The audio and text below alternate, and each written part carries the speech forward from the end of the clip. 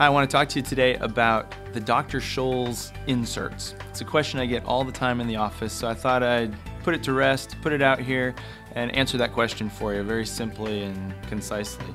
And the truth of the matter is, those inserts that you get at Walgreens, at Walmart, any of the big box stores like that, they, they're great for cushioning but they really don't give you any arch support. They don't give you that true relief that you need for a true plantar fasciitis. Someone that's having some generalized foot pain, they may get some benefit from it. There certainly is a role that those play, but for the vast majority of people that I see in the office, I tell them to stay away from those inserts.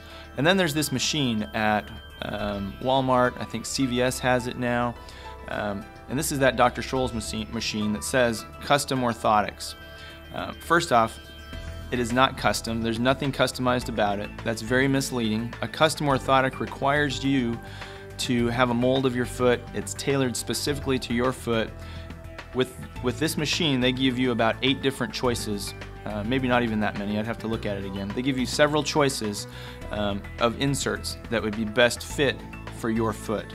So what it does is it takes a, a pressure map of your foot, kind of balances you out, sees where you're putting your weight, and then directs you to an insert.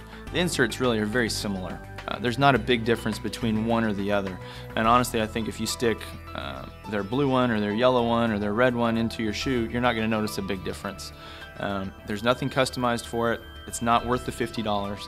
If you need an insert, I would recommend you get Power Steps. Um, those are what I use in my office. Superfeet makes another good one. There's some other over-the-counter inserts that are well worth the money, but you're not going to find those at, at, the Walgreens, at the CVS, at the at the Walmart, those types of stores. So my advice is save your money. Dr. Scholl's, although they mean well, they uh, they're not making true orthotics. There's nothing custom for it um, go see a foot doctor and find out what you really need uh, before you waste your money on uh, a Dr. Scholl's product. And I know that may be a little harsh, but uh, it's a question I'm asked all the time. Hopefully that answers that question.